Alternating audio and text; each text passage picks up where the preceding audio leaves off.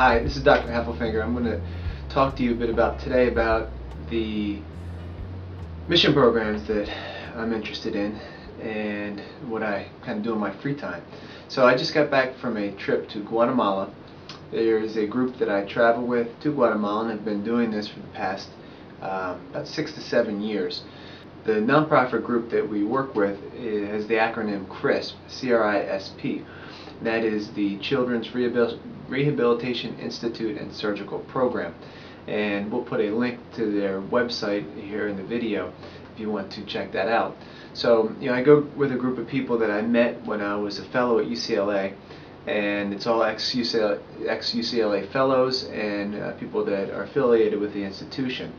Um, this group has been going pretty much to the same hospital for the past uh, 20 years where we go and provide surgical and some medical care to basically children in need.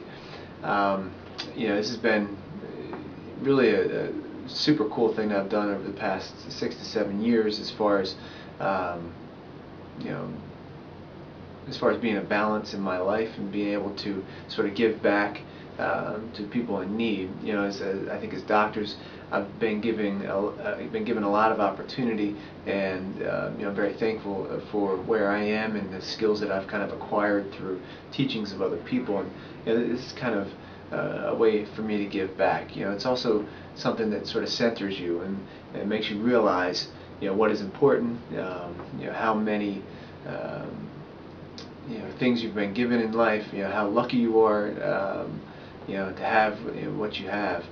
Um, you know, the group we go down with is, is a group of guys and girls that are you know, very, very uh, good people. Um, you know, like to help out, and the, you know, the things we see down there are, are really incredible, and the things that um, you know pass on a daily basis, you know, as far as medical care goes uh, down there is just something that you, would not be tolerable in, in, this country. You know, we see people and kids that have gone untreated for you know, severe medical conditions for you know, entire lifetimes. So you know, it's, a, it's a way for me to give back. It's it's a good group of people.